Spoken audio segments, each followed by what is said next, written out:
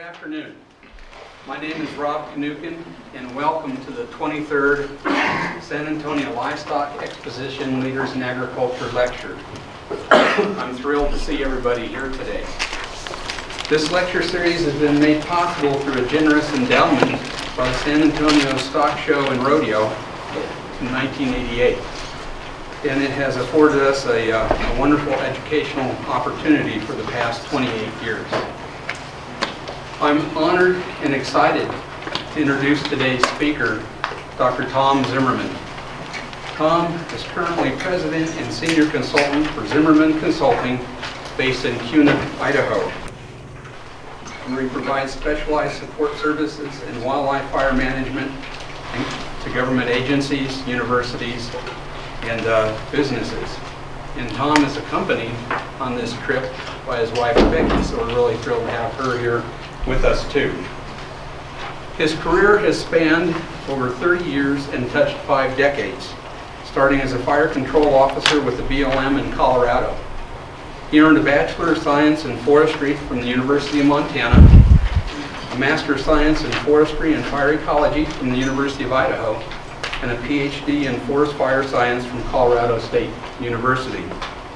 With BLM, he advanced to a fire management planning specialist then switched to the National Park Service where he served as the Rocky Mountain Regional Fire Management Officer in Denver. With the Park Service, he also served as the Fire Science and Ecological Applications Program Leader in Boise, Idaho. In 2003, he moved to the U.S. Forest Service Southwestern Region as the Director of Fire and Aviation Management in Albuquerque, New Mexico. His, he culminated his government service as program manager for wildland fire management research, development, and application programs for the Forest Service Rocky Mountain Research Station in Boise, Idaho, retiring then in 2012. Tom has been instrumental in the development and writing of federal wildland fire management policies, accident assessments, and fire program reviews.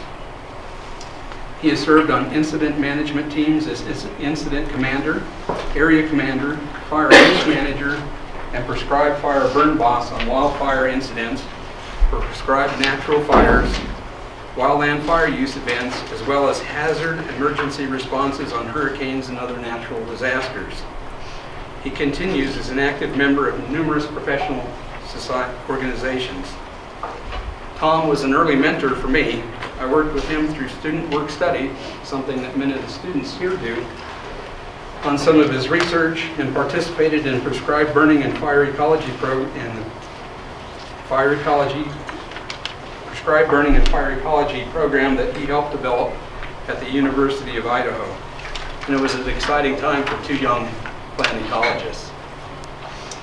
It is with great pleasure I present Dr. Tom Zimmerman who will discuss wildland fire management, structure, function, and influences. Thank you, Rob.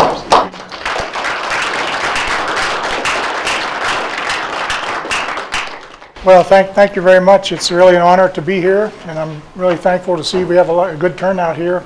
I'm sorry it's late in the day, and I'm, i know you're all going to get tired. The room's going to get hot, and I didn't bring any five-hour energy drinks to pass out, so I'll, I'll try not to put you to sleep here. Well, I'm going to talk about wildland fire management. I've worked my entire career in, in wildland fire management and and probably worked in just about every aspect of it that there is, or there can be, to some degree. So I, have uh, seen quite a bit and, and, and seen quite a bit that we didn't like to see, but we won't talk about that. We'll just talk about what, what we can. So what, how I'm going to cover this, I'll, I'll, the organization today, I'll, I'll, go over a little bit of a background, what the history of fire management, what, what it is, talk about what lessons we've learned from the past and, how that's developed the program into what it is today, and talk about what that program is today and how we understand that, what influences there are on the structure and functioning of this program, and then uh, how we're going to move forward and position ourselves to deal with the challenges of the future. And I think probably everybody who understands what's happening recent years will, will see that there are going to be challenges in the future and, and things aren't going to stay the same. What you probably know and, and, think about wildland fire management is probably what you've seen on, on TV and in the news. And one thing you see a lot of is, is when it gets really hot and dry in the western United States in, in the late summertime, you see a lot of these sensational fire pictures large fires, burning large areas, threatening houses, and even burning a lot of houses. And, um, and we see uh, fantastic uh, aerial tankers and, and, and equipment uh, dropping retardant on fires. We've even seen the, the advent of these, uh, this equipment going from pretty small aircraft to larger aircraft, larger, and now even to jumbo aircraft. And in, in some senses, we were thinking that bigger is better, and dropping more retardant, and hopefully we, we can do more with that. In some cases, that, that is going to be better. We see a lot of uh, inspiring helicopters, lar- very large helicopters delivering water, other kinds of retardant to a lot of these fires, which can be very effective. But there's also people involved. We- have the firefighters on the ground who are actually doing the work, putting in the fire lines, work, working directly against the flames, whether they're with engines and, and fire trucks, or whether they're digging hand lines or working on hand lines, whether they're smoke jumpers being delivered aerially to the fires, coming in by helicopters. There's a lot, a lot of hard work goes on in trying to control and, ma- and manage these fires. And that, that's a lot of what you see, but that, that's not all what wildland fire management's about. That, that's a part of it, and that's the suppression side of things. There's also planning, preparation, preparedness, uh, prescribed fire, prescribed natural fire, wildland fire use, fire rehab, fire investigation, fuel treatments, vegetation manipulation, and non-fire fuel treatments that go on.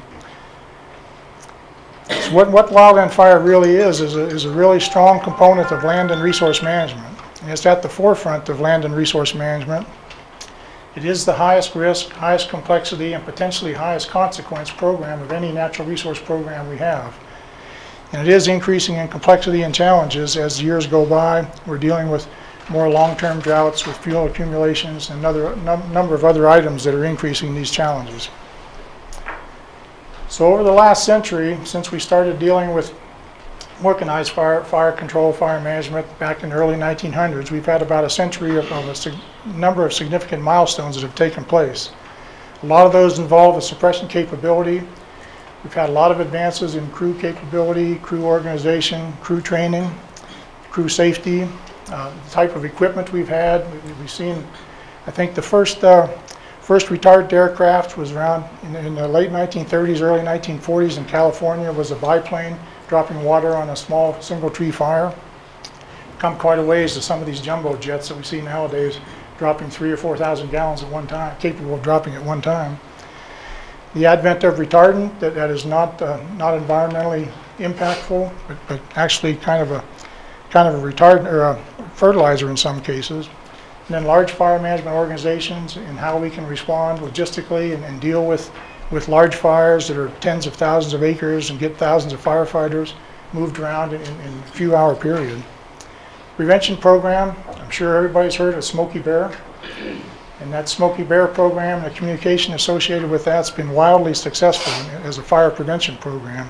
Some cases, many people think that might be too successful, but, but regardless, it's, it's a wildly successful program. The management and use of fire, how we manage fires, what, what we do with that, how, how we, the tactics we use, how we implement that, how we deal with post-fire rehabilitation, how we apply fire, those kind of things have really grown over the years. And then science and technology. Um, I'm going to talk a little bit later about the state of our, our knowledge and the state of our science and technology, but, but we've had, um, I think, uh, three dedicated fire research labs in the U.S. Forest Service created over the last hundred years in, in southeastern United States, in Southern California, in the Northern Rockies and Montana, just to do fire science research. And the technology they've come up with in terms of fire ecology, the, the, the history, the fire history, the natural role of fire, fire danger and fire danger ratings and how to assess that, fire weather and how to track weather, and how to predict fire behavior or attempt to predict fire behavior has been pretty significant in, in- the advances that have been made. And then fire policy. Um, we have to have a policy, we have to have guidelines and, and rules and how we do things, set up a framework for the program. And fire policy is, uh, is something that I've worked on quite a bit, and I was telling some students this morning that uh, in my undergraduate degree, I took classes on natural resource policy and natural resource administration, and I absolutely hated those classes. So those were some of my least favorite things, and who, who wants to be working with that when you can be out in the field and doing things on the ground and getting things done? That's, that's where we wanted to be.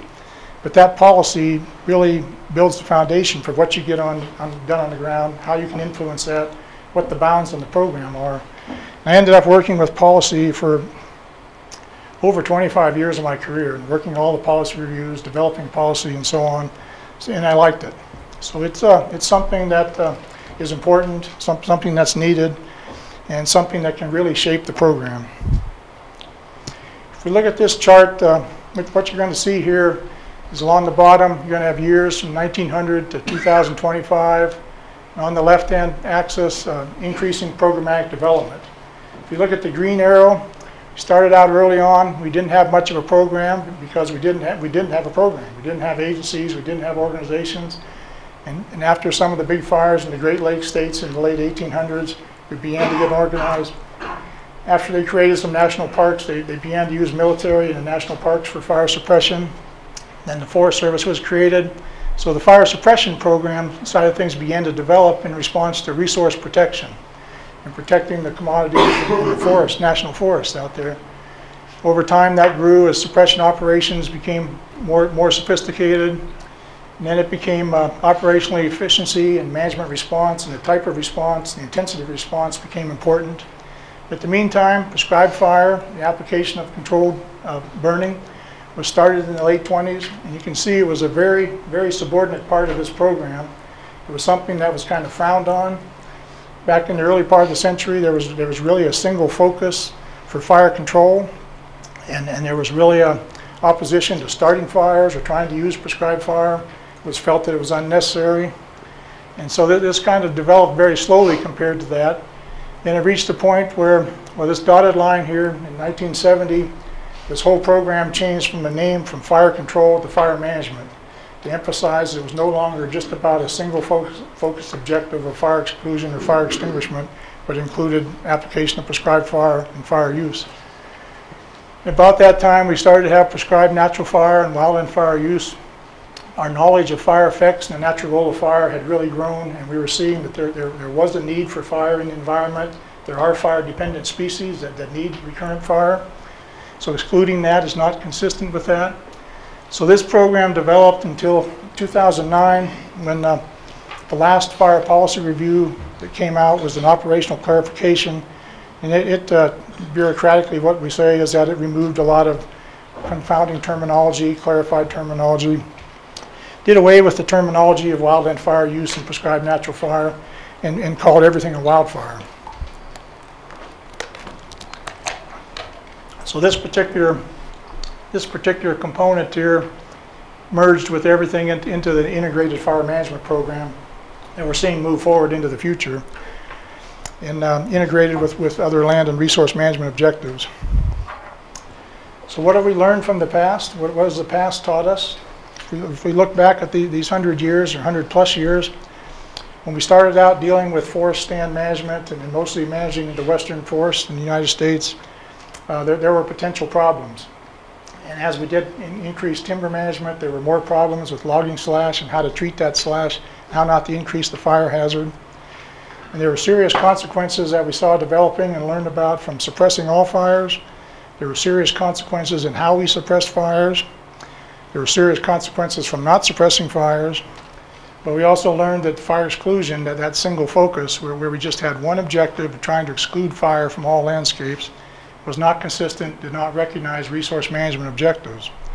And then there's significant needs for, for science and technological support as this moved forward. Uh, social, economic, and professional perspectives over, over time, as I said, prescribed fire and management of fire were viewed as, as something that shouldn't be done. And it was generally taken that less fire was better. If we're going to protect these resources, we don't want fire out there.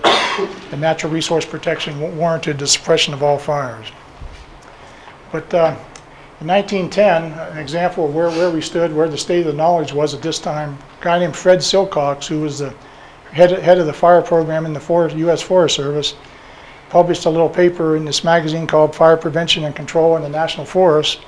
And these are quotes from his paper. He said that the fire menace is a real one, needs no emphasis. So he's really showing that they, they viewed fire as a really a bad thing, totally. And then he said the record shows a periodic occur- reoccurrence of bad fires. There's no mention of good fires, only bad fires. So that, that was the, that was the state of the knowledge, that was the viewpoint at that time. Gifford Pinchot became the first uh, U.S., the head of the U.S. Forest Service, and then eventually governor of the state of Pennsylvania, uh, wrote a paper on the relation of forests and forest fires in 1899. This is 1899. And he said uh, that, that, that fires do vast harm we know already. So what, what he's telling us there is that, is that we know that fires can be harmful. And he has this long quote, I won't read that to you, and you don't need to, you don't need to read it, but what, what he's saying is that basically he's saying that our, our, our understanding and the knowledge about the role of fire is lacking. And we don't, we don't know as much as we should because um, it's only through this understanding, if we were to gain more information, that, that we could really figure out how to manage fires and how to deal with that. So he really highlighted the, lack of understanding of the natural role of fire. So that state of the knowledge, state of, was limited, limited to the state of our art. And then also in 1899 in this paper, Gifford Pinchot also said these, these quotes that uh, little attention had been given to the study of forest fires as modifiers of the composition and, and mode of the life of forests. Again, he's emphasizing the, the lack of the knowledge we have. Then he made a statement, and I think probably when this paper was written, there were a lot of fires burning in the Pacific Northwest in the Douglas fir forest. And he said that uh, Douglas fir distribution is governed by fire, which Douglas fir is one of those fire-dependent species that's really, really shaped by the presence of fire. But he said that uh, there's no desirability in the fires which are now devastating the West. So, but, but with that, he started to differentiate between the fact that there, there is a role of fire in these forests, but there's, there's, a, there's a certain type of fire that's undesirable, can have un, undesirable effects. And I think he was starting to get into the, the good, bad fire discussion, the, the, the, which fires we should need to keep, which fires we should apply, which fires we should leave and suppress without really knowing what he was getting into there. So from these lessons of the past, we, we developed a framework for wildland fire on how the program is bounded and how we deal with that. And, and this framework is, uh, is created in the government, so it's, uh, it's, uh, it's fraught with bureaucratic tendencies and lots of paper. But it's, uh, it's, it's full of laws and rules and guiding statements and principles. And it has, direct, it has direction in it that, that guides the program, sets direction, sets, sets goals and objectives for the program, sets requirements for the program. And that this is contained in the agency missions, agency uh, policy. There's a federal wildland fire policy, an interagency federal wildland fire policy that's been created. And then there's some supporting direction. We- We have something called the Quadrennial Fire Review, the QFR, which is done every four years. And it, it's a, it's a full a visioning document for the future. And we have a cohesive strategy, which is the National Cohesive Wildland Fire Management Strategy, which was done in response to a congressional directive because they, they felt that there was, there was no cohesive strategy for wildfire. So those supporting documents have been done. And with, within this framework and, and how we're guided, it's a pretty flexible system. And the policy we have today is probably the, the fire policy is probably the most dynamic, most flexible fire policy we've ever had in this country. And in, in other countries around the world, if you look at the evolution of their fire policy, you'll, you'll see that many countries in the world have been running decades behind what the advancement of the fire policy in the U.S. is. And many countries are still stuck in the mode that all fire is bad and they can't have fire and fire, all fires need to be suppressed. Well, well some have moved into the, the mode where the U.S. is now of managing fire, using a lot of prescribed fire and so on. But in all these, all these rules, regulations, guiding documents and directions, the one, one common message stands out, and that, that's that fire is recognized as an ecological factor. It warrants attention at all levels and includes protection, application, and management. And it's important to note there that it says protection, application, and management. So you're going to manage those fires that you, you, you need to manage. You're going to protect resources from undesirable, damaging fires. And you're going to apply fire where objectives call for applying fire. Wildland fire management policy, as I said, is, is uh, actually was, uh, we had fire policy that came out in 1910. We had fire policy that came out in 1940. We had fire policy um, that was modified in the 50s. Then we had this fire policy after the 1988 fire season where, where Yellowstone had such a, a widespread burning area. In 1989 wa- was the revision of the federal fire, that was the first federal fire policy. Then that, the revision of that was completed in 1995. was modified in 2001 and then again in 2009. So what was done in 1995 represents the, the, the core of the, the federal, federal wildland fire policy. Has nine guiding principles in it. And these are the, this is the website where you can find the, uh, the original 1995 policy. And then uh, the 2009 implementation guides is also at this website. Within the fire management policy, th- these may be hard to read, but there are 17 policy areas identified, and these are those 17 areas. And these, these can be broken down into, into groups, like um, foundational areas here, interagency cooperation, safety and planning, supportive processes, the main processes, which are the use of fire and suppression, and then results and outcome, fire management and ecosystem sustainability, wild and urban interface protection, rehabilitation and restoration, and evaluation and feedback. And uh, it's, it's, it's interesting to note that uh, there are 17 policy areas, and, and all the previous policies prior to 1995 only had a few policy areas. This is the first time that interagency cooperation was really tied into this. It's the first time that planning was tied in, and by far the first time that science was identified as a policy area, and how important that was to shaping the program. So re- really some significant gains in this, this uh, policy. The quadren- quadrennial fire review, this was modeled after the Department of Defense's uh, quadrennial defense review, which they do for all the military organizations or agencies in the country every four years. They have a quadrennial defense review to look at the state of the, the situation and project out from four to 20 years ahead of what, what we might be facing.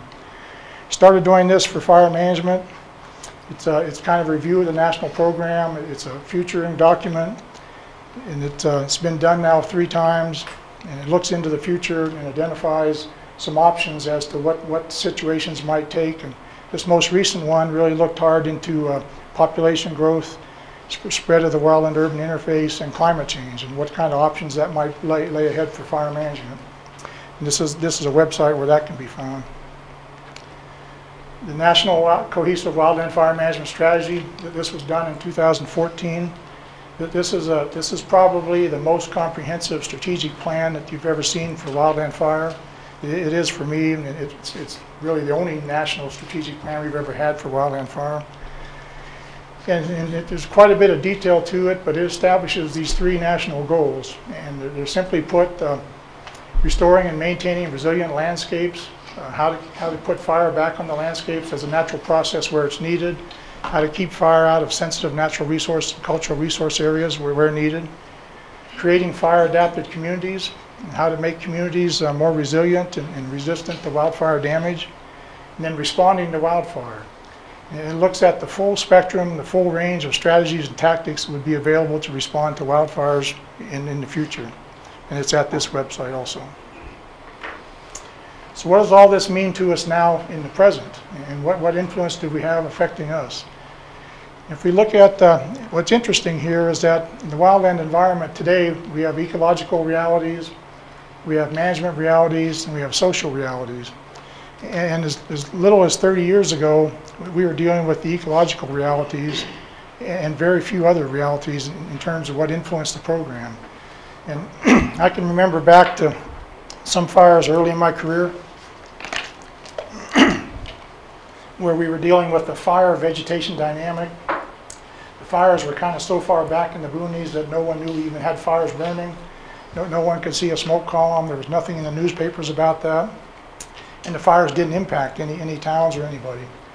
And in today's environment, uh, excuse me, almost every, every fire that you read on the National SIT report will show any number of structures that are, that are threatened or structures that are involved. And very few fires occur nowadays without, without being able to have a smoke column, excuse me, smoke column that's visible from somewhere, from somebody, and not on the TV and, the- and the news, and the newspapers. And so we no longer just have a fire vegetation dynamic, but we have a fire environment, uh, social and economic and, and political realities that we have to, interactions that, realities that we have to deal with. And so the- these are, these are huge concerns uh, for the future. Ecological realities, uh, again, I talked, I mentioned serious consequences of complete fire suppression. We have learned that complete fire suppression is not going to serve us well. because of what that does to the the remaining vegetation. Aggressive fire suppression tactics, we have learned over time the use of heavy equipment and, and some uh, environmentally sensitive uh, retardants and what kind of impacts those can have, and we, we can't just do that. And then uh, not suppressing some fires, we, we've seen what, what, what uh, unchecked fires and uncontrolled fires, what, what kind of impacts those can have in, in some high value areas. And now we have so many more values to be concerned about. The intensity and severity of our fires are increasing. Whether that's a function of climate change, we're we're certainly seeing longer frost-free periods every year. We're certainly seeing the effects of these long-term droughts where we have lower fuel moistures at the start of every fire season. The acreage burned we're seeing is variable, and, but it's not uh, necessarily on a constant increase, but it fluctuates year by year, but, but it is variable. The ecosystem condition is altered. We see a lot of uh, fuel and vegetation complexes have been altered, partly from fire suppression in the past, partly from other land uses. And we're seeing increases in fuels, we're seeing changes in, in some species, we're seeing invasive species come in.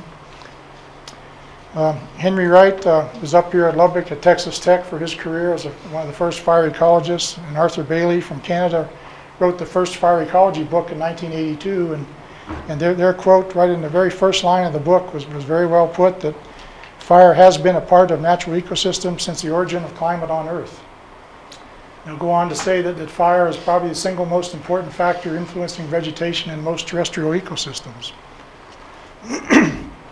Richard Vogl, another uh, renowned fire ecologist and, and, and biologist in, in California, wrote clear back in 1971, and this is kind of a lengthy quote, but he said that fire is a catalyst for diversity that provides stability, and without that stability, forested communities become monocultures.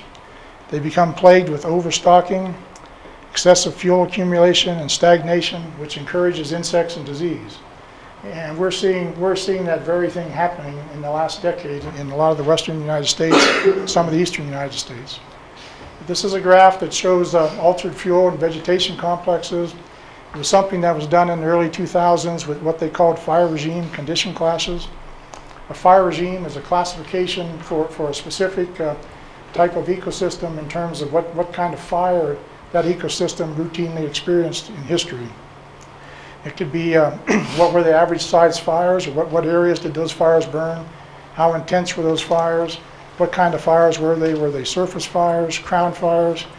So they were categorized as, as maybe one fire regime, and certainly this first fire regime here, fire regime one, is something that experienced low intensity fires, surface fires, burned under, understory canopy or understories of the forest, and burned on a very frequent basis like the southwestern ponderosa pine or some of the other pine species on a three to 10 year rotation. And then we get into some of the mixed, mixed sites where we have mixed severity, we have frequent and infrequent fires, and we get out into these fire regimes where we have infrequent fires but a very high intensity, like your high elevation forest, spruce fir, mixed, wet mixed conifer, where you might not have a fire except every few hundred years and it destroys the entire forest when it burns. So condition class one in the black, those, those are, those are something where the fire regime has not been altered and we're seeing fire, fire play its natural role. Condition class two in the white bar is where we- we've missed some fire rotations and that, that percentage of those ecosystems has begun to move. It Had, had, had fire excluded for a while. Condition class three, or the gray bar, is where fire's been excluded for, for, for a great deal of time and the fire regime's been altered. And in, the, in these frequent fire regimes, th- this should almost all be in the black with very little in the gray and, and, and a small amount in the white, similar to some a relationship like this fire regime five bar.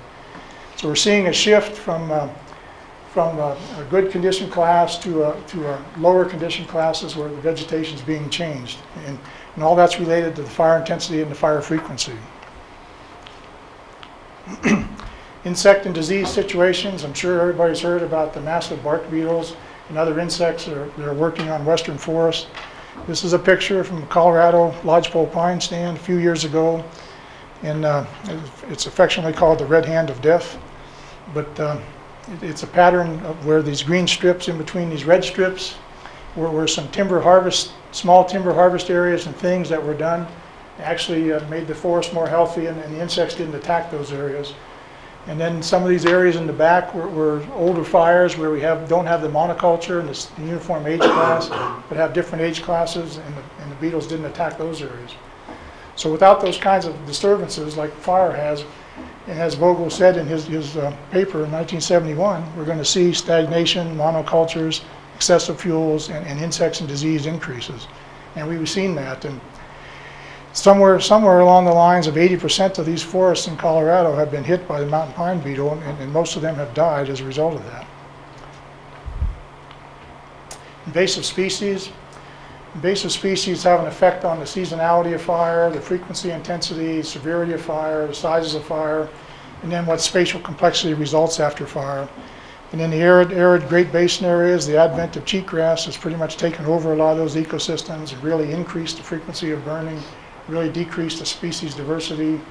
It's having some negative effects on some of the remaining species like sage grouse and sagebrush. And some of the, the, some of the red brome and other species influencing in, in, the, in the desert areas in the southwest are, are really influencing fire frequency and having effects on some of the cacti species in terms of adverse effects from fire. And that's just a few. We have, we have spotted knapweed in the northern Rockies. We have yellow star, star thistles through central California. And all these invasive species uh, capitalize on these environments, uh, increase the frequency of fire, and with more frequent fire, they, they repopulate more quickly and, and move out the native species. Said something about the number of acres burned was increasing, but, but variable. But this is a graph from 1916 through 2000, 2013 in the western United States. And I think you can see a trend here that uh, even clear back in, in the early 1900s, we, we, we didn't have that many millions of acres were burning every year. We got pretty good at putting out fires, and we went through the coolest, wettest period of the 20th century. And then we're still pretty good at putting out fires, still very good at putting out fires, but we're starting to see increases in, in these acres burned. There's, there's a variety of reasons why that's happening. A lot of it's because of the fuels, a lot of it's because of the weather conditions, and and prevention efforts are, are being effective at reducing the number of human-caused fires, but we're still seeing more acres burned, and uh, the average acres are, in- are in- increasing. The management realities we face, um, the fire management program is no longer a re- a remotely based situation, but it's more of a population-based situation, where, as I said, almost every fire is threatening some, some sort of community infrastructure value, whether it's isolated structures, wildland urban interface, or entire communities, power lines, energy production sites, pipelines, uh, many number, number of things. Our knowledge and experience show us that fire exclusion has not supported resource management objectives and probably is not a viable option because uh, even with, with all the fires we have, uh, with, with the staffing, the sophistication, the technology we have, we have worked for, for years and years and years to be 98% effective at suppressing fires in initial attack. And the 2% of those fires that escape are these large fires that we, we hear about that burn all these big acres and, and cause these big problems. But we've never been successful at 100% of fire suppression. Even, even back in 100 years ago when we were in a fire exclusion program, we weren't able to suppress 100% of the fires. So that, that's not really a viable option. Our operational capabilities are, are lessening. Our organizational efficiency is becoming more important. If we, were to, if we were to look at over time here from, from 1900 to 2010 or the present time, in terms of our complexity and capability, just ranging from low to high, kind of a dimensionless uh, attitude here. If we look at fire complexity, which, which is really a function of a number of things, such as uh, the number of acres burned, the, the, the fuel situation, the wildland urban interface, the fire weather situation, the, effects of climate on that. We, we can see the complexities were, have always been moderately high with wildland fire, but they dropped off again through this, this mid uh, to, or late middle of the 20th century, which, which was the coolest, wettest period of the 20th century. So it wasn't that, that we were very good in reduced fires, it was that the, the weather helped us a lot there and the fires weren't so complex. But since we've gone back out of that wet period into the droughty period, we see this complexity on a alarming trend that's increasing and showing no signs of coming back. If we look at our operational capability, um, of course, we had a very low capability 100 years ago, 110 years ago. We began to increase that. We got organized with crews, got equipment, got, got technology, got some science support. And again, we didn't get that good here. We just, we just had a, a lot of help from the weather. But then that, that began to erode. But, but if you look at this period of time, what the operational capability was, with, with the wildland fire uh, business, we could field uh, hand crews, 20-person hand crews. Back in those days, we could field 800 to 1,200 Type 2 crews, which, which were the, the more common crew. And the Type 1 crews are the hotshot crews or, or the, the professionally trained and, and more physically fit crews. And we had about 60 or 70 of those at that time. But in today's environment, that, that's dropped off to where we can barely field 300, 350 crews of all types. And a lot of the uh, 1,200 crews or 1,000 crews, we had Type 2 crews, were Native American crews coming off the reservations, and- and they don't do that kind of work very much anymore, those have dropped off. We used to have uh, enough people working on all the national forests, where every national forest had its own 20-person crew. You don't have the people to do that anymore. Each, each national park had a, or not every national park, but the big ones all had their crew, and they don't have that anymore. So we're seeing this capability de- declining here in terms of just pure numbers. We saw an increase in the budget in 2001 with what was called the National Fire Plan, some hiring, and then dropping again. Now, while, while that uh, capability is going down, that, that, that does, that, that's just raw capability. That does, that doesn't mean we're, we're we're not as good as we used to be, or not as capable, or, or not as potentially capable. And you look at things like prescribed fire, the subordinate part of the program, and really increased in, in it- its potential impacts, and has, has really peaked out. We, we can do a lot with prescribed fire.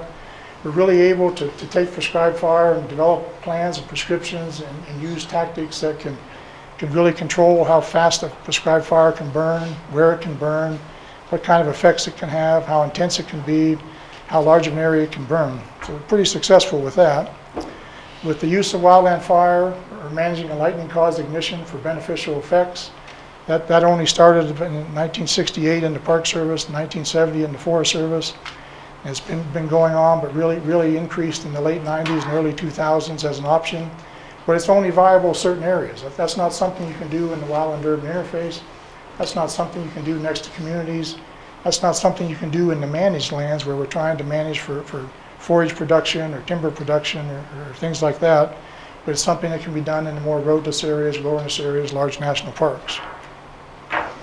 Science and technology, we've always had some support of that over the years, but that, that's really been increasing. And, and with the uh, digital information age and the ability to, to leverage information technology and support decision-making with predictive model, computer models and, and weather tracking situations, that has really improved the capability there, really added a lot of information to support decisions, and better decisions can be made and are being made. And then that- reflects on our decision support capability. And the way, the way to deal with this increasing complexity here is the sum of all these factors together and make better decisions on what needs to be done where and how to do that. And those kind of things are happening and the responses are going on. We're still 98% effective in many places, even 99% effective in some places, initial attack. And we're dealing with these large fires as, as, you know, in better situations with better responses and- and better prioritization on that. So it's not, it's not a, it's not a doomsday. I'm not trying to be, be woeful here. I mean, things, things may not look as good as they did, but they're- actually better than they were in terms of what our, what we can do. But the costs and the budgets may not be as good as they used to be. Uh, We may have more money now than we've ever had, but it may not be enough. And if you look at the fire suppression costs over time, uh, there's 16 years represented up here, and 11 of those 16 years exceeded $1 billion for the federal wildland fire suppression costs nationwide. And uh, certainly the last five years are right at or exceed a billion dollars, so the costs seem- seem to be increasing. And uh, Congress has not figured out a way to fund wildfire suppression in this country that, that really meets the needs. They keep working on uh, trying to come up with a, a way to take a 10-year average and fund that as what, what the suppression budget will be. And then if it, if it's one of those years, like these recent years, where the, the- the weather might, might push us into a severe fire season and we exceed that uh, 10-year average, then they expect the money to come from other parts of the agencies and, and it, it, it really hamstrings the rest of the agency, rest of the resource management, other programs get shut down. They, they've looked in the last two years, they've had four or five different bills come out for wildland fire disaster funding support. It would be similar to natural disaster like FEMA deals with, where they'd have a pool of money, and none of those have passed in Congress, in the Senate or the House. They just, just keep getting hung up with other, other things. So they're still working on that. And in the meantime, eventually it'll catch up. You know, if you look at the 10-year average, the 10-year average of these 10 years back here was, was somewhere in here, at this level, a billion dollars, and the costs are running somewhere up, in recent years, they're exceeding that. So if they keep exceeding that, each 10, each time, each year, we get, the 10-year average is going to go up. So over time, it'll eventually catch up. But in the meantime, we're having a heck of a time dealing with that. The Number of firefighter fatalities, um, this is a high, high-risk business, and unfortunately, we've not been able to eliminate fatalities from this business. And as much as we'd like to do that, as much as an important goal as that is, you just can't seem to shake that.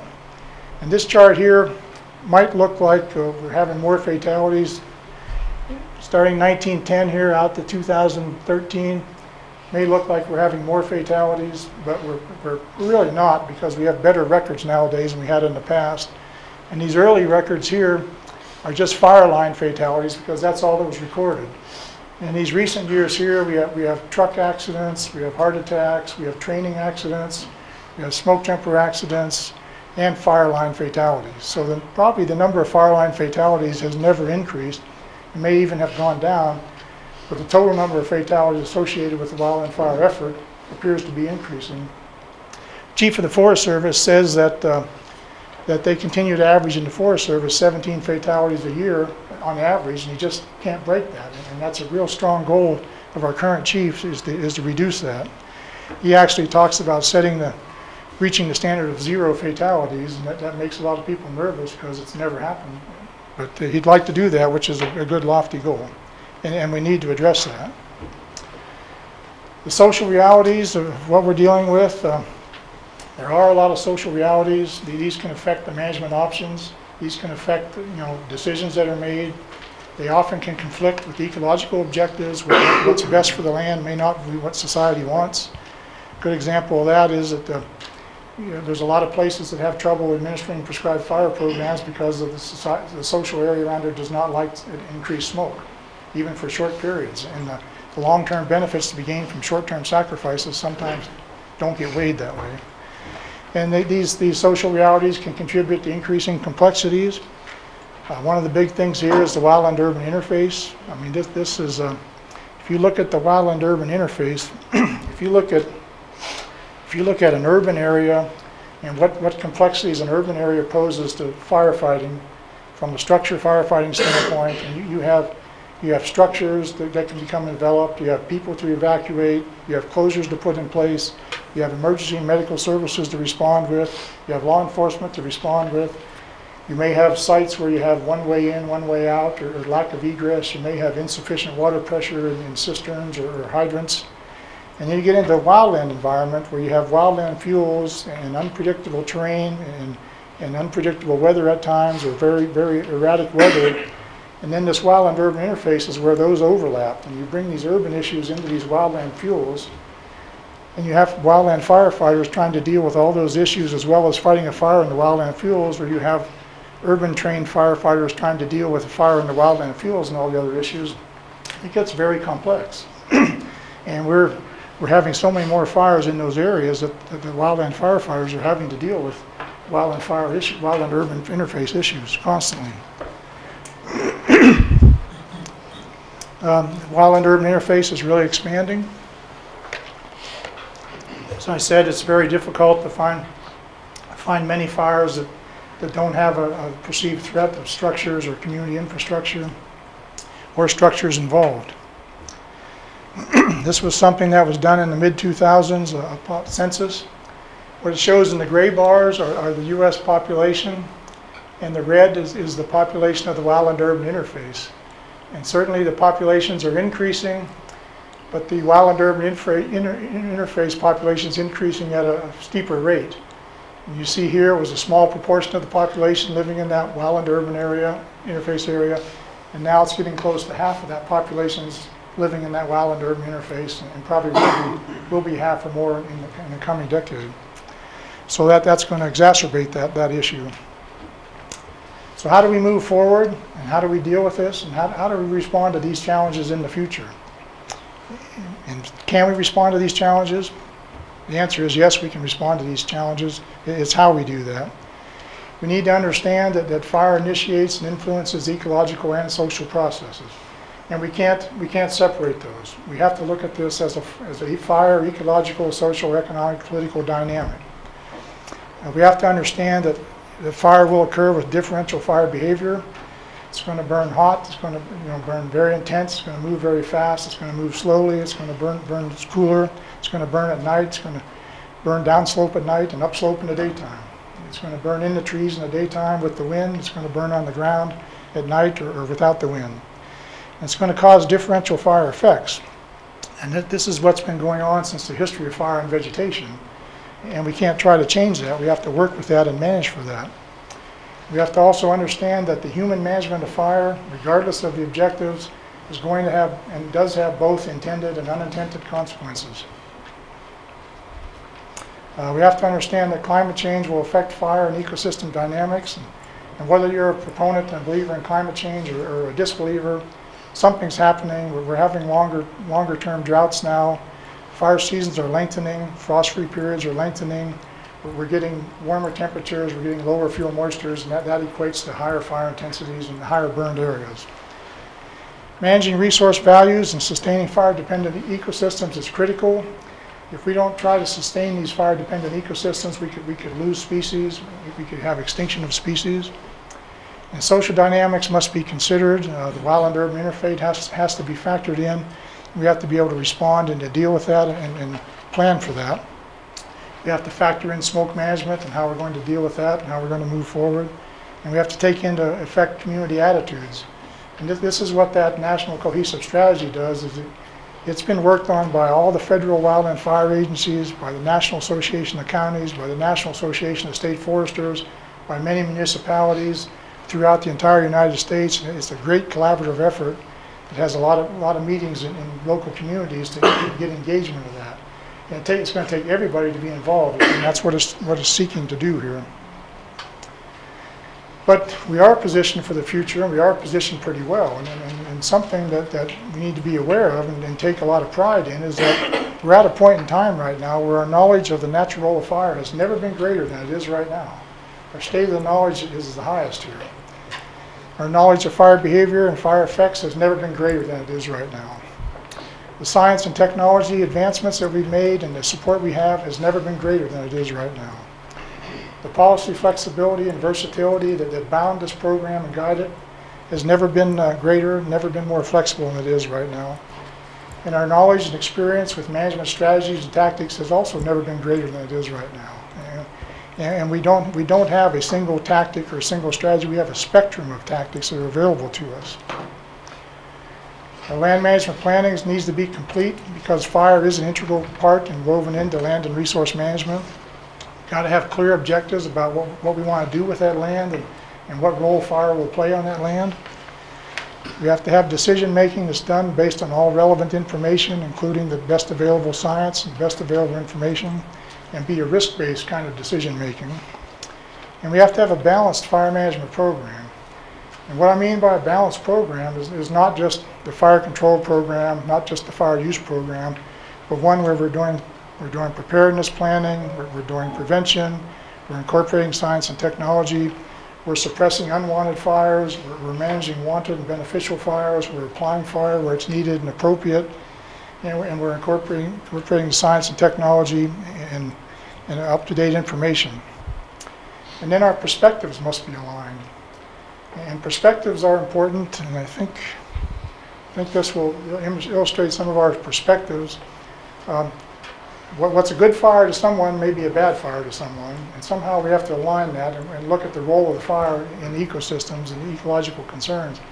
In this particular graph, up in the center at the top here i- is a fully functioning, integrated, balanced wildland fire management program with all those components I just talked about fully functioning and supporting the program. And if you take some of those away or try to highlight one thing over another, you begin to erode off of that and have a less, less efficient program. And that's what happened with the fire exclusion program. They, they- they dealt with one aspect of, of only, which was suppression or fire exclusion. And that takes you into a situation, generally in, in, in this type of dynamics diagram, first phase you'll come into is called situation blindness, where you've got a problem and you don't know you have a problem. And if that continues on, you'll come down to passive awareness, where you have a problem, and you might know you have a problem, but you don't know what to do about that problem, or how to deal with that problem. And from there, you'll come down to active awareness, where you've got a problem, you know you've got a problem, you know you need to do something about this problem. But if you do nothing, if you don't know you have a problem, and fire exclusion was your issue, you, you loop right back to fire exclusion. If you know you have a problem but don't know what to do with it, about what, you rely on past experiences, you'll loop back to fire exclusion. If you've got a problem and, and won't, won't do anything about it, you loop right back to fire exclusion, hence we call this the fire control loop, which, which we went through in this country for a long time. And when we get uh, past active awareness, we want to do something about it, the next phase would be situation resolution. And in this case, this is where we develop a sound fire policy. We develop long-term strategic plans, land and resource management plans that, that, that give us the bounds, requirements, and directions on, on how we're going to deal with this. Then we begin to implement that, gain social and professional acceptance from that. and we move up into institutionalization, where we're actually functioning with a, an active balance program. But if we're trying to gain social and professional acceptance and we loop back around and decide we can't do that, we loop back, we fall into a firefighting trap, which has happened as recently as three years ago in this country. When uh, one of our federal agencies leaders wrote out a memo that said this year is going to be a bad fire season, so we're going to just put out all fires, which caused a huge uproar and, and took away the possibility of managing fires and, and doing multiple strategies and just put, put us back into this firefighting trap. If we have an act- active balance program, uh, if if Fred Silcox were working today and and said that all fires were bad, it would- it would be taking us right into this firefighting trap and back here. Now, with the state of knowledge back then versus now, that was okay then, it's not okay now. Our state of knowledge is much better here. So this is, this is where the perspectives need to be aligned, that uh, we're working towards this, this part, we want to keep the program functioning in in this way, where, where we have all these components going on and it- it's balanced and integrated. And so if I, if I would summarize here, uh, it's kind of a complicated diagram, but if, if we're sitting here with wildland fire management and we have these challenges of the future, and how we're going to deal with those challenges of the future, we're going to have to adapt some of our processes and procedures and get there. If we don't adapt those processes and procedures, we're going to be stuck in an adaptive failure loop we're going to rely too heavily on past experience and what we've done before and try to fit, fit it into today, or tomorrow's model. We're going to have little or no infusion of new science and technology. We're going to have continued, continued reliance and emphasis on, on failed strategies. And there are some failed strategies out there.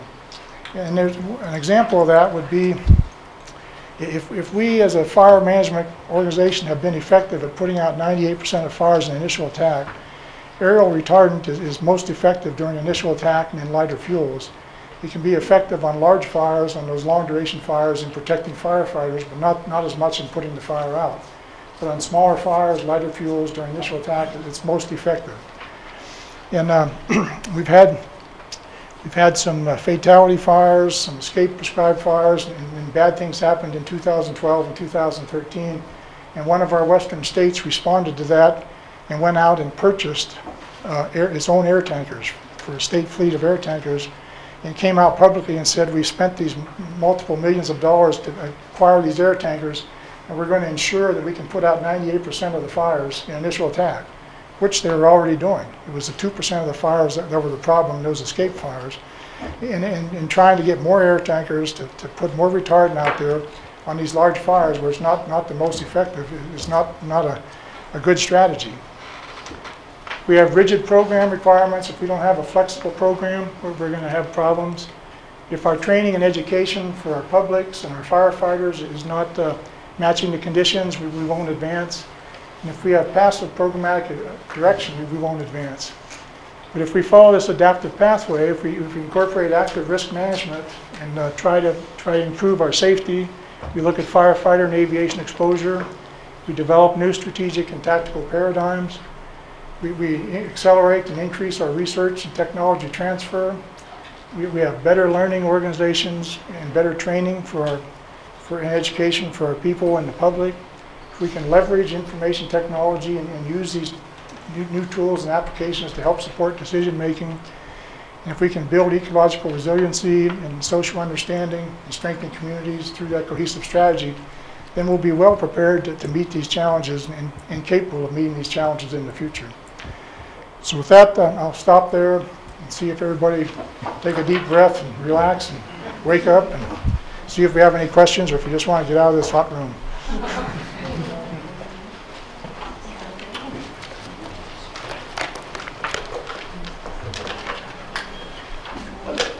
Tom, one of the, the, the, the graphs that you put up uh, earlier, you had uh, fire complexity on the increase and then everything else like policy and science and everything on that too.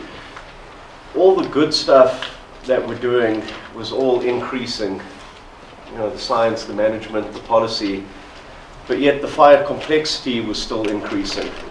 So I guess the question is, what are we missing? If we're doing everything else right, why is fire, fire complexity Well, still increasing My, my opinion sharply? on that would be that I think we're suffering from a lag time.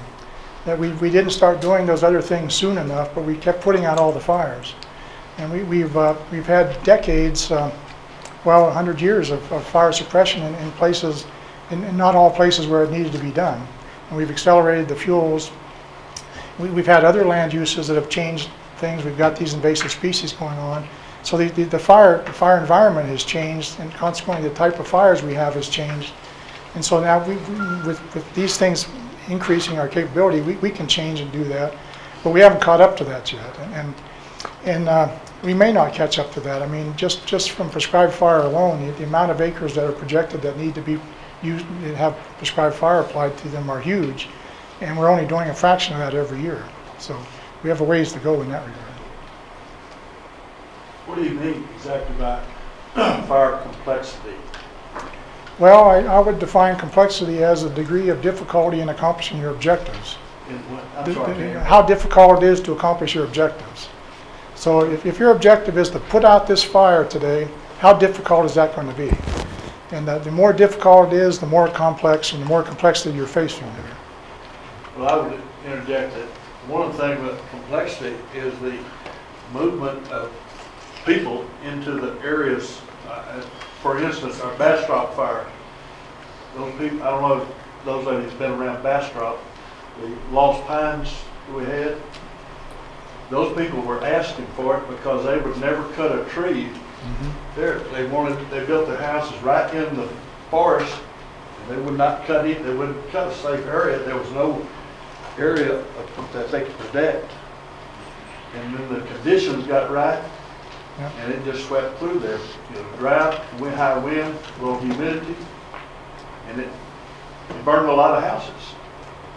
Uh, Los Alamos, Oh, yeah. that, it, uh, you know, of course, they knew, they had days before it got down to Los Alamos, to the town. So they had time to prepare for it. And like you said about one, there's only one way in, into that town. And Chief McDonald had, they had set that thing, out- he planned that well. So they got everybody out, so they had no fatalities, no injuries.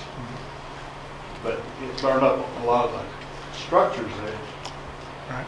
But uh, that's the thing about the complexity to me, i- is the urban The- the urban expansion, yeah, yeah. Yeah, that, that, that, that, problem than anything. that, that adds a huge uh, element to the complexity and in- increases the complexity a lot because there's so much more you gotta respond to, just, just the things you mentioned there. You have to factor into that. And people, you know, people don't want to ride off their home, but if it's in an area where you're not gonna be able to defend it, you have it, do tree out, get out. We had, uh, we had a fire up in central Washington last summer that uh, three fire, Forest Service kids were killed on in their engine when it went off the road trying to drive through the fire. And after that, uh, there, there's a lot of uh, there was a lot of homes burning, and, and there, there were some pictures that came out, and I saw one when I was up there in the newspaper, and someone had put a sign on the fence by their house, that just said, firefighters, this is just a house, just move on. You know, don't risk yourself for this. But- But that they get that, they get that attitude, though, we gotta save everything. And in Arizona in 2013, uh, those 19 kids that died there coming down, trying to get back into that small town to help with the, the- the work down there when they were in a safe place and they left that safe place. And it's like, you know, the houses can be rebuilt, but li- lives cannot. And Those people in California, they'll, they'll burn them, they'll build them right in the same place again. Is lumbering still an effective part of fire prevention in this country, or do we just import all of our construction wood at this point? Um, It's, it's an effective part, but it, it's been scaled way down, so it's not, it- it's, it's only effective in specific areas. And that's, you know, the, the fuel treatments, uh, the fuel treatments can, can get in and remove a lot of smaller diameter stuff, because they've removed the larger diameter stuff, so there's no more, I mean, the mills are closing in certain areas, and there's, not going on. But if we can build up the market for some of these smaller diameter products and keep that going, that, that, that can be very effective, almost as well as prescribed burning. Yes. So do you see any trend in public awareness and acceptance, you know, willing to Um, I, I see a huge trend. I see the public becoming more educated, more understanding, more responsive to, to putting fire on the landscape, to, to doing fuel treatments. But, uh, you know, it, it, it doesn't, it doesn't hold up year-round. And I say that, I mean, you take a lot of places up in Montana and Idaho and Washington and Oregon, and when the fires get in there in August and they, they last till the end of September and you're smoked in, the, the, the rule of thumb is it's about a 30-day tolerance for that, and then everybody says, let's get these fires out and let's, let's be done with this. And we, we can't deal with this anymore. And sometimes, it, you know, you, by then, after four or five weeks, you're not going to put those fires out. I mean, they're going to be there until the weather changes and whatever. And, and some of those areas are going to be smoked in. But if you have if you have a hundred thousand acre fire in, in- out some area, that that hundred thousand acres is going to regenerate, and the fuels are changed, and it's going to be in a different condition class. And, and any fires that come in there in, in, in the future are going to be way different, and not, not going to burn as intense and so on. And those are going to be fuel breaks for other fires to burn into where they can be fought and go out. And, I mean, that, that's all part of the mosaic of the landscape. So it, it has long-term benefits. But, but I see the public, you know, understanding this more and more. It's just sometimes their, their tolerance for it, it, it's kind of worn thin. But I think that will, I think that will improve too. But we can't stop working on that.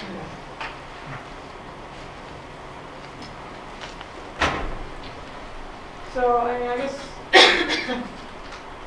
a lot of people say that the fires are, you know, getting more intense, larger acreage burned. Um, do you ever see that dying down maybe eventually with a couple of decades, just because a lot of that has to do with such a long time for fuel to accumulate, but once it's gone, it takes a while to. Yeah, that, that's, that's an interesting question. If you didn't hear that, the question was, uh, with fires increasing in acres and durations, is that ever going to die down after everything gets burned up, basically?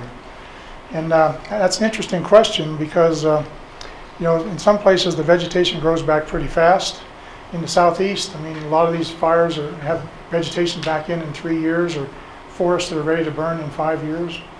And in the west, I mean, it takes a lot longer for that in these drier, drier systems, but but we, we've had lots and lots of fires burn over the last 15 years in the west, and, and we're still having them. And some of them are reburning in the same areas. And, and those, those forests that burned in Yellowstone in 1988, uh, there, there's a lot of those areas burned in Montana in 1988, and, and those, those, some of those started reburning in 2000 and 2001. I mean, the young trees had grown up big enough to, to burn again. But they burn, burn differently, of course. I don't, I, I guess I would say, I don't see the fires going away or stopping or, or dropping off to nothing. But uh, potentially the, you know, the, the, the worst uh, fuel buildup areas could get treated by wildfire. And the type of fires we see in the future could, could begin to change and be less intense or less, less, less, less long and so on. But uh, there's still gonna be fires. I mean, as long as there's vegetation out there, there'll be some kind of fires.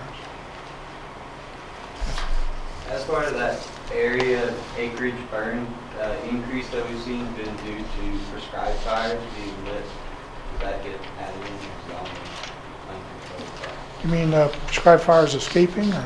No, just uh, burning prescribed fires, does that go into the area burned? No, that, that, in the graphs I had, that, that was all just wildfire acres.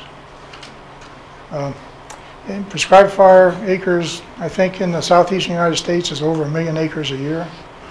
And in the western United States is about a third of that on average, 300, 400,000 acres a year. And Alaska's even and less than that. And if you look at the wildfire acres, I mean, Alaska last year had over 5 million acres burned in Alaska and, and about 5 million acres in the rest of the continental United States of wildfire. So the number of wildfires acres are much higher than prescribed fires. And if it was added in, it would, would raise things a little bit, but not much. Yes, Dr. Zimmerman, you said um, there's, there's about 2% of the fires that kind of get out of hand and they, um, they're the ones that kind of cause those big fires. Uh, I'm guessing the acreage, total acreage burn might be pretty impactful by those 2% of the fires. So is there like a strategic plan in place to counter that somehow or through either control burn or whatever strategy or Um, is it just uh, kind of expected that 2% is going to burn? yeah, that- that's another good question. Uh, The the 2% of the fires, the- the rule of thumb is that the- the 2% of those fires account for 70 to 80% of the dollars spent every year and and about 75% of the acres that are burned every year. And so if- if we could, if we could attack those 2% of the fires and get better at at minimizing their their length, their size and duration, we could reduce things pretty dramatically. And, and this, this cohesive strategy, you know, deals with that in a broad sense, and a coarse scale, about trying to accelerate fuel treatments, you know, reduce the threats to the communities and restore fire where possible. And they, they place a lot of emphasis on using fire and restoring fire where processed so that those big fires won't be burning with, with that kind of intensity in those areas. But again, you know, the, the amount of work that can be done in those areas is, is limited. I mean, you can't go out and you can't burn, it's, it's very unlikely that we could burn 10 million acres in prescribed fire in this country, just because of the social demands and, and the, and the values and the threats and so on. So, and that's, that's probably what it would take, is something like that every year for a number of years to reduce the problem.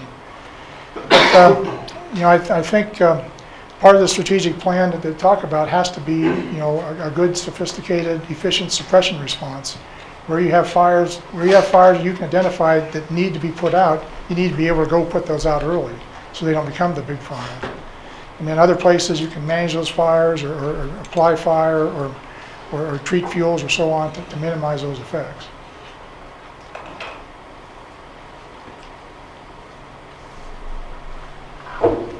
How have we got to that two percent of wildfires getting out? How have we got to that percentage over the last couple of decades? Have our, have we been mitigating the ri- fire risk to get to that two percent level?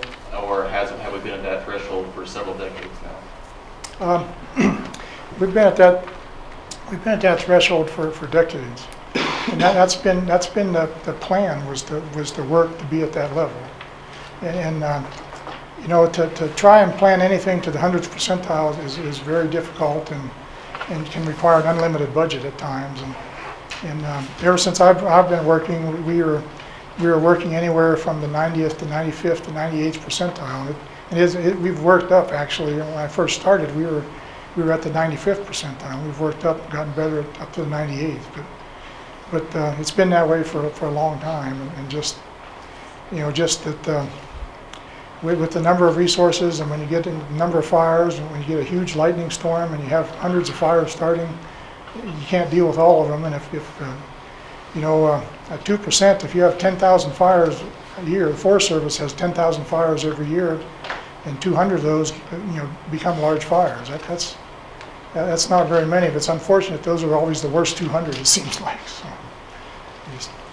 But it, it- it's just, it's kind of a fact of life, and, and uh, if we were to increase, you know, increase resources and increase the dollars, and, and then the weather moderated, we had some wet summers, then we'd have too much money, and that would get taken away. That, that has happened before too, where Congress says, well, you got, you got more money than you've ever had, and you're not using it very good, so take some of it back, and so on. So It's hard to deal with.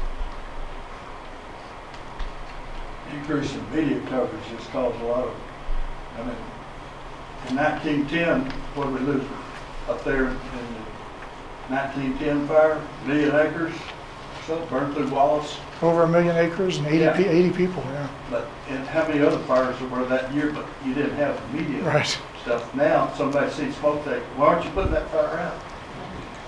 Well, 1988, uh, you know, the Yellowstone fires burned, uh, the media was camped out in Yellowstone National Park the entire summer, and that's all you saw.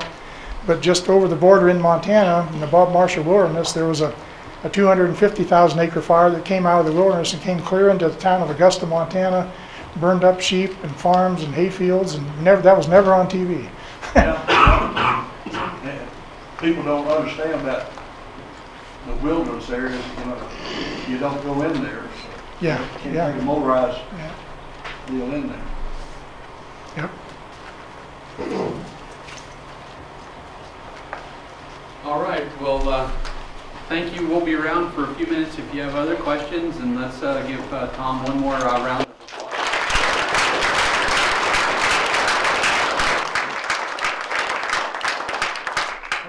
Refreshments right outside here by the last, and uh, uh, feel free to hang around and uh, visit. And uh, students, remember to touch base with uh, Dr. Warnock. And, and thank you all. The room, room got a little hot there, so thanks for putting up with that.